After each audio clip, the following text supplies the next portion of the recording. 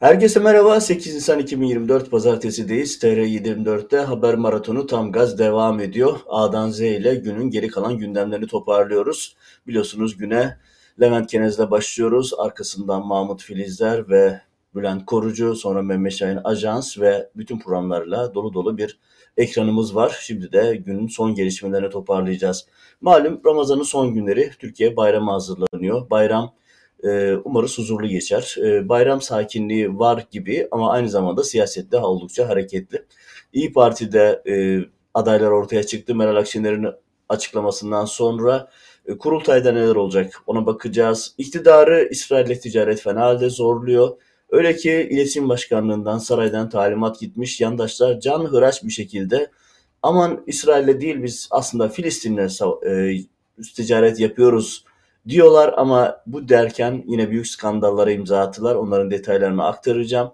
Bir taraftan AKP'den CHP'ye geçen belediyelerin lüks, şafahat e, ve inanılmaz e, israfları en çok da konuşulan konular arasında. Bunlara dair çarpıcı detaylar aktaracağım. Kısacası dolu dolu bir bültenle karşınızdayız. Hemen detaylara geçelim.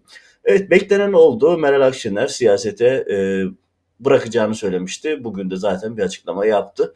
Dediğim gibi onun detaylarına geleceğim ama isterseniz önce en sıcak konu İsrail ile ticaret meselesinden başlayalım. Çünkü bu konu Erdoğan'ı çok yıpratıyor, çok zorluyor. Hafta sonu İstanbul'da bir avuç genç İstanbul'daki bir İstiklal Caddesi'nde protesto yapmıştı. Yaptıkları şey de aslında çok basit bir talepti. İsrail ticareti kesin.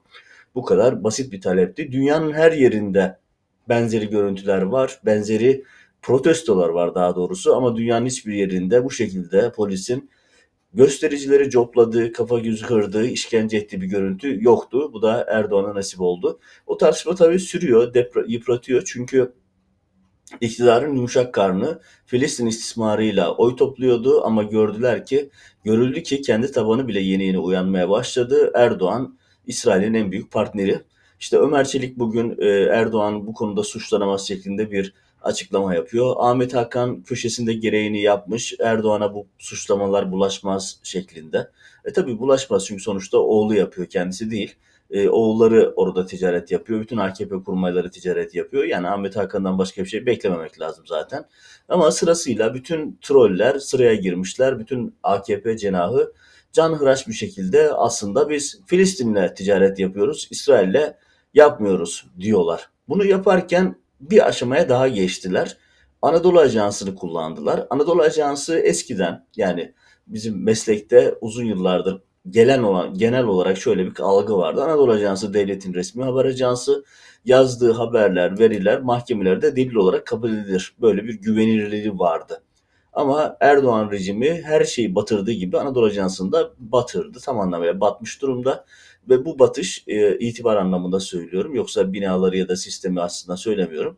E, artık partinin propaganda merkezi Kemal Öztürk'le arkasından da işte Şenol Kazancı ile dibe vuran Anadolu Ajansı dün skandal bir imza habere imza attı. Haberde diyor ki işte e, Anadolu Ajansı ile ilgili haber yaptırmışlar. İşte biz İsrail'e gönderiyoruz çünkü e, Filistin'in kendi limanı yok. Onlar Filistin'e gönderiyor. Yani diyorlar ki aslında biz Filistin'le ticaret yapıyoruz. Peki öyle mi? Değil. Yani her konuda olduğu gibi burada da yalan söylüyorlar. Çünkü Filistin, Türkiye Filistin'i tanıyor. Filistin'in ticarette ayrı bir kodu var. E, Ticaret Bakanlığı ve TÜİK kayıtlarında zaten bu açıkça gözüküyor. Mesela Filistin'in kodu 625, İsrail'in kodu 624. Yani bunu siz de elinizin altında internete girip hemen kontrol edebilirsiniz. Nereye ne kadar ihracat, ithalat yapıldığını orada görürsünüz. Aradaki ithalat, ihracat rakamları da zaten ayrı ayrı belirtiliyor. Yani Filistin'de yapılıyorsa Filistin'e gidecek olan e, rakamlar var ama gerçekten ki işte TÜİK raporlarında da zaten kimle ne kadar ticaret yapıldığı gözüküyor. Mesela İsrail limanlarına gönderilen gemilerin Filistin'e ticaret oranı %2, %98'i İsrail'le. Yani bunu Ticaret Bakanlığı'nın açıklamasında var. Kaldı ki 7 Ekim'den bu yana 1400 civarında gemi gitmiş İsrail limanlarına. Bunun Filistinlere gitmediğini bilmek için herhalde uzman olmaya gerek yok. Yani orada Gazze'nin, Filistin'in durumu ortada. her gün bombardıman altında. Böyle bir bombardımanın içerisinde oturup e, herhalde İsrail şey Filistinler çimento falan alamıyor Türkiye'den ya da çelik malzemeler falan satın alamıyor. İşte bomba yapımında kullanılan e, malzemeler almıyorlar ya da jet yakıtlarındaki malzemeleri almıyorlar. Bunun gibi işte İsrail askerlerinin giydiği kıyafetleri almıyorlar. Bunun gibi çok sayıda malzeme İsrail'e doğrudan gidiyor. Kaldı ki eti maden yani devlet kurumu. Önce dediler ki işte efendim biz yapmıyoruz özel şirketler yapıyor. Baktılar ki o yalanda tutmadı çünkü eti maden gibi e, şirketler e, İsrailli firmalarla çalışıyorlar. Bor e, madeni satıyorlar. Bunlar ortaya çıkınca bu sefer de işte İsrail limanlarına gidiyor ama aslında Filistin'e gidiyor dediler. O da değil çünkü e, Filistinli firma alıcı olur. Yani İsrail limanına gitse bile alıcı Filistinli firma olmak zorunda. Ama o da yok. Direkt Filistinli firma yerine İsrailli firmalar var. Kaldı ki İsrail ordusuna üretim yapan, İsrail ordusuna malzeme sağlayan firmalar bunlar. Kayıtları da son derece açık. Yani şöyle bir realite daha var. Bakın e, çimento. Yani öyle bir çimento var ki e, transferi var ki İsrail'e. E, şimdi bu çimento transferi herhalde Filistin'e yapılmıyordur. Çünkü Filistin'in şu an çimento ile herhalde en son işi olacak olan ülkelerin başında o gelir. Böyle bir e, uzun bir liste var ve böyle bir e, haberle, manipülasyon haberiyle işte durumu kurtarmaya çalışıyorlar.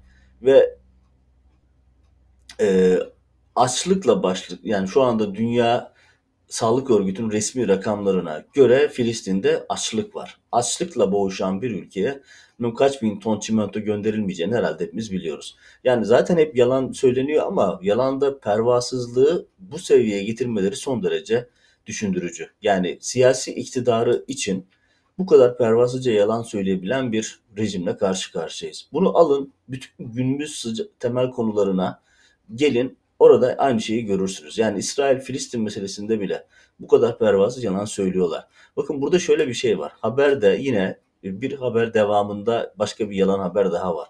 Hani Anadolu Ajansı yazmışsa yalandır diye doğrudan söyleyebilirsiniz. Bakın röportaj yapmışlar bir haberde. Haberin içerisinde e, Mahmut Vaher isimli bir tane Filistinli var. Kim bu diye bakıyorsunuz. Mahmut Vaher. Yani böyle bir de şöyle bir realite var sevgili seyirciler.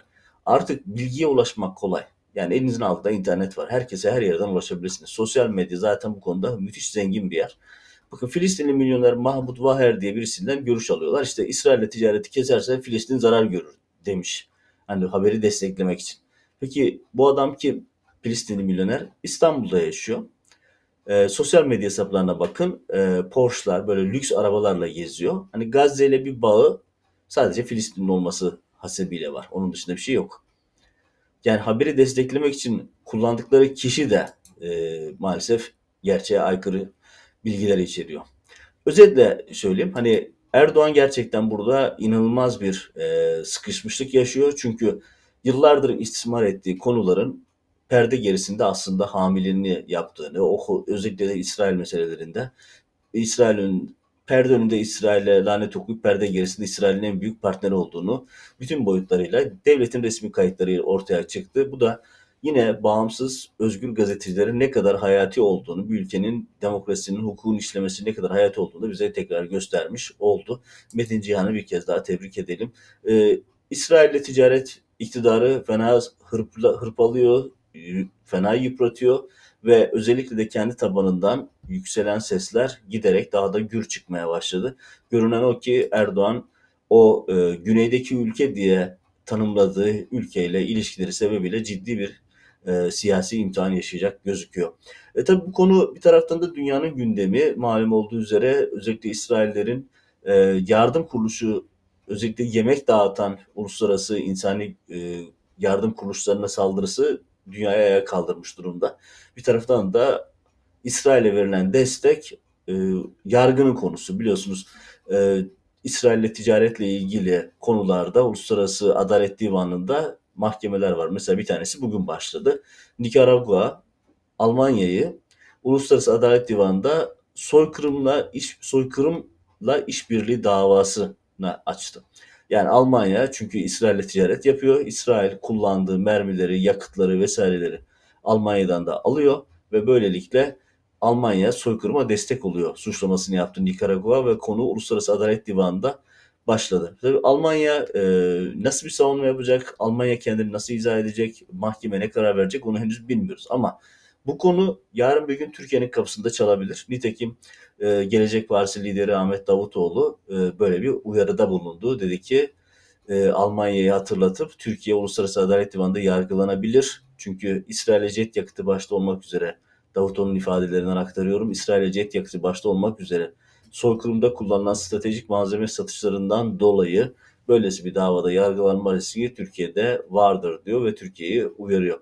Evet bu da enteresan bir uyarı. Yani Ahmet Davutoğlu'ndan böyle bir uyarının gelmiş olması da ilginç. Zaten e, siyasal İslamcıların bunu geç kavrayıp şimdi pozisyon almaları da dikkat çekici. Yani artık konuyu örtemeyecekleri için şu anda dönüp e, buradan ya biz demiştik noktasına getirmeye çalışıyorlar. Hani biz demiştikler bu ara iktidar cenahında çok yaygın biliyorsunuz. Çünkü seçimi kaybettiler. Seçimi kaybedildiği zaman da e, biriken hesaplar ortaya dökülür. Şu anda herkes birbirini suçluyor iktidar cenahında. Mesela işte en son Aydın Ünal'ın bir yazısına rastlamıştım. O da Erdoğan'ın çevresindeki kadrolara hedef alıyor. Bakalım bu hedef almalar neleri beraberinde getirecek onları izleyeceğiz.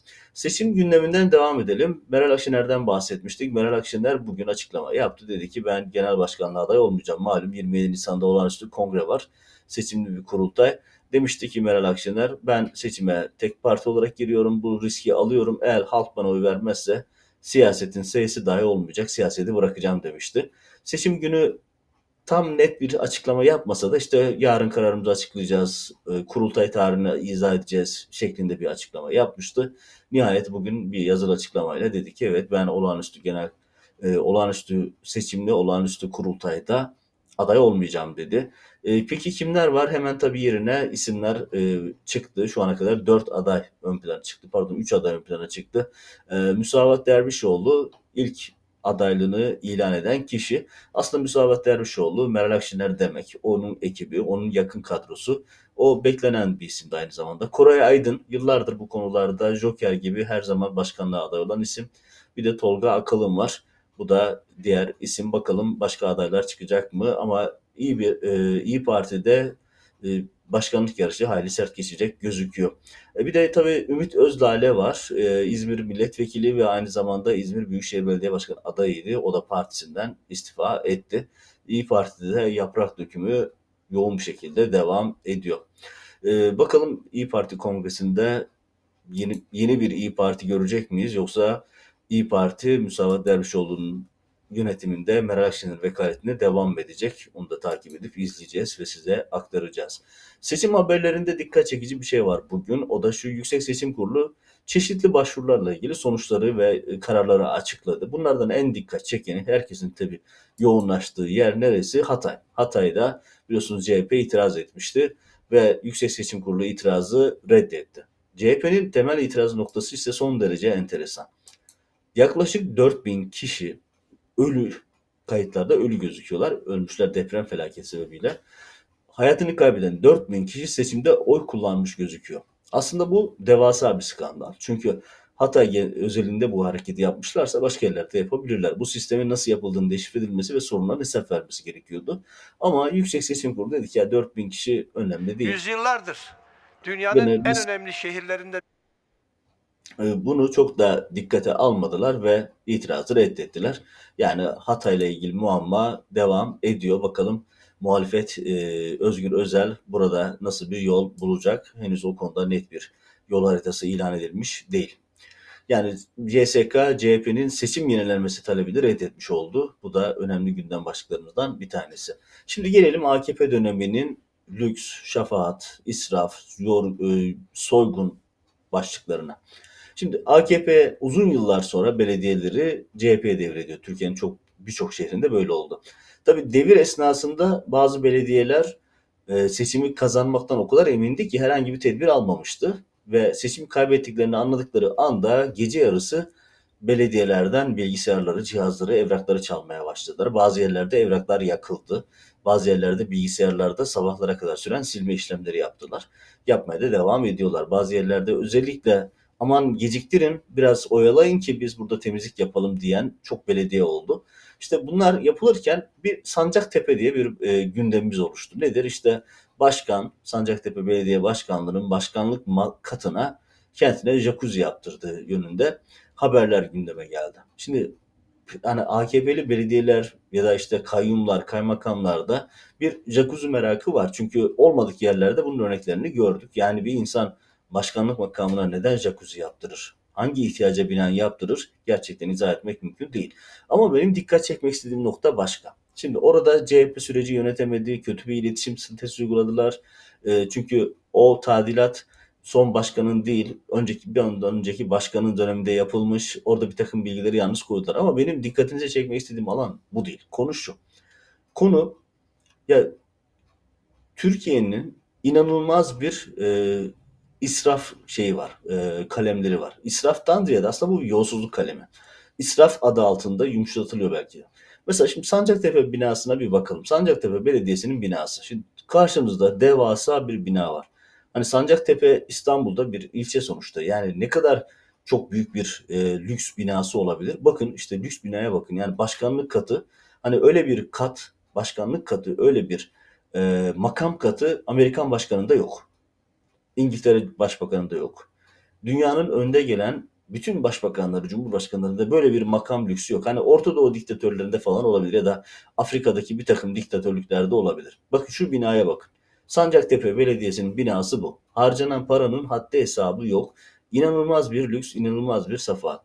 Devam edelim. Bakın şimdi size başka bir bina göstereceğim. Kahramanmaraş'ın 12 Şubat ilçesi belediye binası. Yani külliyeye benzetmişler, Erdoğan'ın sarayına benzetmişler. Bakın şimdi ben açıkçası hani izleyicilerimiz kusura bakmasın ben Maraş'ın 12 Şubat diye bir ilçesi olduğunu bile bilmiyordum. Hani o kadar da küçük bir ilçe, hani bilinen bir yerde değil.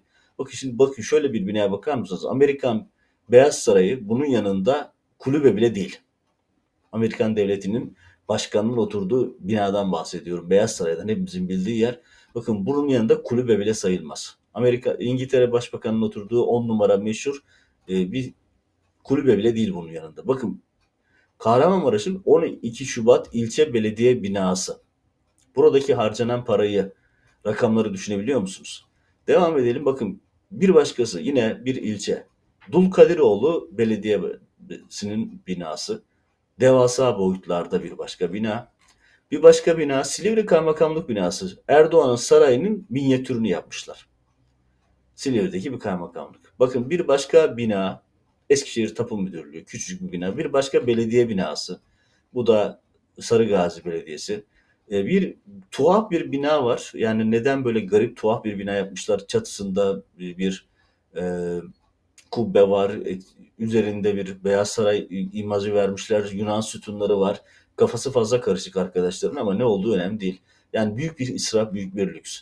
Şimdi asıl dikkatini çekmek istediğim bir başka binayı göstereyim size. Kilis'in Musa Beyli ilçesi.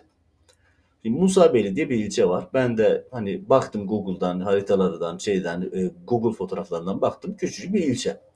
Şimdi Musa Beyli'nin e, kaymakamlık binasını bakar mısınız? Kaymakamlık binası bu.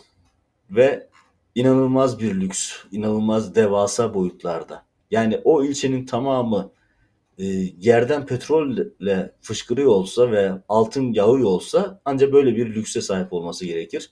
Böyle bir şey söz konusu değil. Bakın Kilis'in Musa Beyli ilçesinin kaymakamlık binası.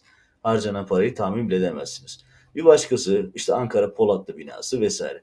Ya şimdi öyle bir tabloyla karşı karşıyayız ki sevgili seyirciler. Şimdi bunun ben hemen 10 dakikada topladığım şeyler bunlar. Türkiye'nin her yerinde mutlaka benzeri görüntülerle karşılaşıyorsunuz. İnanılmaz lüks binalar, inanılmaz tefrişatlar. Ha bir de tabii şu var, binayı yapmakta kalmıyor. Bir de binanın içerisinde başkanlar ya da işte yöneticiler, kaymakamlar, rektörler inanılmaz bir lüks e, harcama yapıyorlar. Olağanüstü zengin gösteren, olağanüstü bana göre son derece rüküş olan işte varanklı e, şeyler, koltuklar falan. İşte düşünün Erdoğan'ın da var öyle bir sürü sarı varaklı koltukları vesaire. Onu öyle olursa kaymakamlar geri mi duruyor? Rektörler, ilçe, müftüler dahil olmak üzere.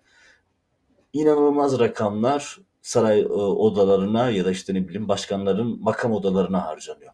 Şimdi buradaki hadise israf mıdır, yolsuzluk mudur? Hayır bu bir yolsuzluktur. Bu bir israf boyutu için e, basite indirgemek olur. Çünkü sistem şu şekilde işliyor. Şimdi AKP'liler bu binaları neden böyle yaptırıyorlar? Hani Erdoğan diyor ya itibardan tasarruf olmaz. Mesele o değil. Mesele bu bir yolsuzluk kalemi. Çünkü siz ne kadar büyük bina yaparsanız, ne kadar gösterişli bina yaparsanız o kadar çok yolsuzluk yapabilirsiniz. Yandaşlarınızı o kadar çok ihya edersiniz. Şimdi burada CHP'li belediyelerin yapması gereken şey şu. Bu binaların inşaatını kim yaptı? Ne kadar para ödendi? Raiç bedellerinin ne kadar fazlası ödendi? Hak edişler kaç kez, e, ödemeler kaç kez değiştirildi? İşte ihaleler. İhale yasasını o kadar çok değiştirdiler ki artık kaç bin kez değiştiğini sayamaz noktadayız. Dünyada böyle bir örnek yok. Ama şimdi realite şu, Türkiye'nin her yerinde böyle görgüsüz binalar, inanılmaz lüks binalarla dolu. Hani çoğu da zaten gerçekten hani mimari olarak bir estetik şeye sahip olsa hani en azından diyeceksiniz ya tamam çok çaldılar ama en azından estetik bir bina yaptılar. Öyle bir durum da yok. Birçoğu iğrenç vaziyette. Ne olduğu belli olmayan binalar bunlar. Ve gördüğünüz gibi Türkiye'nin her yerinde korkunç bir israf var. Hani Sancaktepe'den başladık ama Sancaktepe tekil değil. Tabii normal bir ülke olmuş olsa, savcılar, adliye, medya görevini yapıyor olsa böyle bir yolsuzluk yapılamaz. Çünkü burada yapılan şey yolsuzluk. Bakın bu binaları yapan insanlara bakın. Hepsi müsiyat üyesidir. Hepsi Erdoğan ve çevresindeki müteahhitlerdir. Bakın nasıl zengin edildiler. Nereden nereye geldiklerini çok rahat görebilirsiniz. Sosyal medyaya, Instagram'a, TikTok'a bakın. Onların çocukları ultra lüks arabalarla e, neler yapıyorlar? İşte ultra lüks mekanlarda nasıl paralar harcıyorlar ve halkla nasıl dalga geçiyorlar görebilirsiniz. AKP elitlerinin çocukları işte onların babaları, anneleri de bu binaları yapan, o binaların tefrişatını vesairesini yapan insanlardan oluşuyorlar. Evet, büyük bir yolsuzluk kalemi bu. Hani dünyada böyle bir örneğini, e, böyle bir yolsuzluğun, şafahatın, ne bileyim işte e, israfın örneğini görmeniz mümkün değil. Yani şimdi düşünün Amerika'nın, dünyanın süper gücü, trilyon dolarlık ekonomisi, korkunç bir büyüklüğe sahip Amerika'dan bahsediyoruz. Beyaz Saray'ın işte Beyaz Saray bizim Anadolu'daki bir ilçe e, kaymakamlık binasının yanında kulübe kalıyor. Hani bundan övünüp bundan gurur duyanlar varsa e, bence kendi zihin kapasitelerini bir kontrol etsinler. Çünkü çalınan para sizin cebinizden, sizin çocuğunuzun boğazından çalınan paralar. Çocuklar deyince bir başka habere geçelim. Hani Türkiye bir istihbarat devletine dönüştü. Erdoğan ve Hakan Fidan ikilisi bunu uzun yıllar ve büyük bir özveriyle yaptılar. Öyle hale geldi ki artık Türkiye'de her şey istihbarattan soruluyor. Buna dair iki haber var. Bir tanesi bayağı düşündürücü. Şöyle ki Milli İstihbarat Teşkilatı web sitesinden bir ça- çağrı yapıyor çocuklardan. Diyor ki güvenlik, istihbarat, gizli ajan kelimelerini resimle mektuplara yazın, mektup resim yapın, mektup yazın, bize gönderin. Yani diyor ki çocuklara e, MIT'i istihbaratı anlatın. Ya şimdi bu çocuklar çocuk yani bu çocuğun hafızasında, algısında, dağarcığında özel ajan, MIT vesaire işte ajanlık, casusluk vesaire ne işi var? Olması mümkün değil. Kaldı ki hani velev ki yaptılar çizgi filmlerden ya da filmlerden gördüler, bildiler. Ya MIT'e mektup yazmak ilk öğretim çağındaki çocuklardan istenilecek bir şey midir? Yani istihbarat devleti kuruyoruz diye övünüyorsunuz ama kurduğunuz şeyin aynısını daha önce Hitler yapmıştı. Şimdi batılı tasviri noktasında Hitler'in neler yaptığını özetlemeyelim ama aynısını Hitler yapmıştı. Düşünün yani MIT'in içinden geçtiği, Türkiye'nin Erdoğan rejiminin e, içinden geçtiği akıl tutulmasını göstermesi açısından son derece manidar bir haber. MIT çocuklara diyor ki bize mektup yazın, rapor şey yapın, e, mektup yapın, resim yapın, MIT, gizli ajan, istihbarat vesaire kelimeler olan şeyler yapın. Bir sonraki aşamada anne babanızı, kardeşlerinizi ihbar edin de diyebilirler. Böyle bir durumda hiç şaşırmayız herhalde. Yani çocukların hayallerine soktuklarına bakın. Gerçekten hasta bu adamlar. Ne diyelim bilmiyorum. Yani. Devam edelim bir başka konu. Hakan Fidan tabii MIT'te bunları yaptı. Şimdi rahat duramıyor. Dışişlerinde de aynısını yapıyor. Dışişlerinde önemli bir değişiklik yapıldı. Cumhurbaşkanlığı kararnamesi yayınlandı. Araştırma ve Güvenlik İşleri Genel Müdürlüğü, Dışişleri Bakanlığı'nda böyle bir birim vardı artık İstihbarat ve Güvenlik İşleri Genel Müdürlüğü'ne dönüştürüldü ve artık Hakan Fidan'a savunma sanayi konusunda da söz hakkı verildi. Normal şartlarda bunlar Dışişleri Bakanlığı'nın görev ve çalışma alanları içerisinde yoktu. Ama Hakan Fidan'a özel bir e, alana açılmış oldu. Neden? Çünkü Hakan Fidan Dışişleri'ni ikinci bir istihbarat başkanlığına çevirmeye, istihbarat bakanlığına dönüştürmeye çalışıyor. ve işte bütün personelin istihbarata karşı koyma eğitimleri verilmesi vesaire konularında çalışmalar yapıyorlar. Ve böylelikle e, aynı zamanda e, Dışişleri Bakanlığı savunma sanayi projelerinde de söz sahibi olacak. Bunun anlamı şu, Hakan Fidan damadın dronlarının satış temsilciliğine de geçmiş olacak. Biliyorsunuz e, damadın en büyük satış temsilcisi Erdoğan'ın kendisi. Erdoğan kapı kapı özellikle Afrika'da gezip damadının dronlarını satıyor. Ve sonrasında da damat zaten geçtiğimiz günlerde Forbes yayınladı. Dünyanın en zenginleri listesine girmiş oldu. Ama onun dışında Hakan Fidan'ın Dışişleri Bakanı'nda yaptığı değişikliklerin detaylarına bakarsanız net olarak şunu görüyorsunuz. MİT'in e, MİT'i e, İbrahim Kalın'a devretti ama aynı yetkilerle, aynı pozisyonlarla Dışişleri Bakanlığı'nda yeni bir paralel MİT kurmaya çalışıyor. İşte iletişim başkanlığına rakip yeni bir iletişim genel müdürlüğü kuruluyor. Artık hani Amerika'daki gibi Dışişleri Bakanlığı sözcüleri olacak, bunlar açıklamalar yapacak vesaire gibi bir planlamaları da yapmışlar. Bu da bize gösteriyor ki e, Hakan Fidan Dışişleri Bakanlığı'nda klasik bir Dışişleri Bakanı olmak yerine artık yine bütün gücü elinde tutan, e, herkese yönlendiren, savunma sanayi ve istihbaratta da söz sahibi olan bir lider olmaya çalışacak. Hep söylüyorum, anlatıyorum, yıllardır söylüyorum. Hakan Fidan'ın siyasi hırsları çok büyük ve Erdoğan sonrası dönemin en güçlü talibi. Kendisi açısından da başka talipler de var. Ama Hakan Fidan işi kolay değil. Çünkü bir de İmamoğlu çıktı. Şu anda sadece Bilal Erdoğan'la Selçuk Bayraktar'la değil İmamoğlu'yla da uğraşmak zorunda. Ama bu kadar yetki ve gücü elinde bulunan Hakan Fidan herhalde heybesinde bir şeyler hazırlamıştır diye de düşünebiliriz. Konuşmakta, düşünmekte fayda var. Ee, Türkiye'de bugün en çok konuşulan konulardan bir tanesi Fenerbahçe'nin Galatasaray'la yaptığı meşhur Süper Kupa maçının e, maçına genç takımla e, 19 yaş alt takımla çıkması ve maçı ikinci dakikada sahadan çekilmesi çok konuşuluyor. İşte e, bu konuda görüşler farklı, taraflar çok farklı ama ben başka bir şey dikkat çekmek istiyorum. Ali Koç bir açıklama yapıyor ve hani açıklamasında yine bildiğimiz şeyleri söylüyor. İşte Türk futboluna reset atılması gerektiğini, işte Türkiye'de büyük adaletsizlikler olduğunu vesaire anlatıyor. Türkiye'de artık futbolun resetlenmesi gerekir diyor. Çok iddialı bir laf. Ve bataklığı kurutup Türk futbolunun kendini tekrar inşa etmesi gereken bir süreçteyiz. Bataklık deyince tabii insan sormak lazım. Bu bataklık nasıl bir bataklık? Bu bataklığı kim yaptı?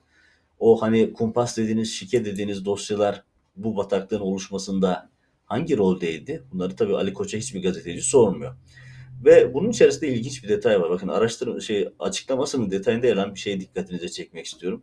Diyor ki bakın işte devletin en önemli kademelerinde teminatlar verilip biz bulacağız suçları denildi. 9 sene geçti hala bir ilerleme yok.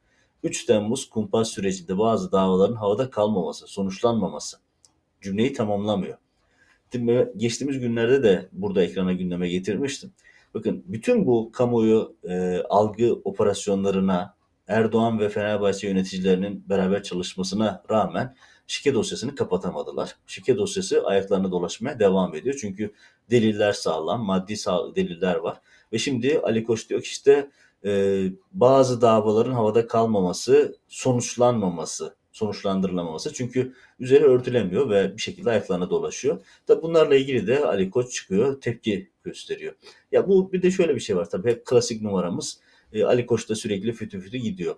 E, ne bu da çok temel bir kural. Yani birisi yolsuzluk, hırsızlık, ahlaksızlık yapmışsa kendini FETÖ'yle savunuyor. Eğer birisi çıkıp FETÖ FETÖ diyorsa siz anlayın ki o yolsuzluk, ahlaksızlık yapmıştır ve kendini bu şekilde savunuyordur. Dolayısıyla buradaki kural da değişmiyor. Fenerbahçe, Ali Koç başarısızlığını böyle polemiklerle örtmeye çalışıyor. Ama çok da başarılı olduğunu düşündüğümü söyleyemem. En azından e, şu anda olmasa bile yakın bir zamanda Erdoğan radarına girer diye düşünüyorum. Ee, bir son haber, e, biraz magazin bir haber olarak verelim. O da şu, bugün Amerika'da güneş tutulması var. Ee, Amerika'da en çok konuşulan konu bu. Yani ne Gazze'deki soykırım süreci ne de dünyanın başka yerlerindeki konular. Amerika'da milyonlarca insan e, birkaç saat sonra başlayacak olan tutulmasını e, merakla inceliyor, izliyor. Onunla ilgili haberleri okuyor. İşte herkes buna dair güneş gözlükleri alıyor vesaire. Amerika Los Angeles'tan batıya Boston istikametine doğru bir hat üzerinde e, güneş tutulmasını yaşıyor, yaşayacak ve bu güneş tutulması milyonlarca insanı sokağa dökmüş durumda. E, milyonlarca insan da Amerika içerisinde daha iyi görebileceği yerlere doğru seyahat etti. Böyle bir gündemleri var. Bu benzeri bir güneş tutulmasının bir sonraki tarihi 2044 birçok kişi hayatında belki bir daha göremerim deyip e, şu anda akın akın gözlüklerini alıp e, güneş tutmasını izleyebileceği yerlere gidiyor. Tabii medeni ve gelişmiş ülkelerin böyle basit gündemleri oluyor ama Türkiye gibi ülkelerde düşünün nelerle uğraşıyoruz. Evet, umarız bir gün Türkiye'de bu seviyeye ulaşır diyelim ve bugünün e, bültenine noktayı koyalım. E, yeni bültenlerde, yeni yayınlarda görüşmek üzere. Hoşçakalın.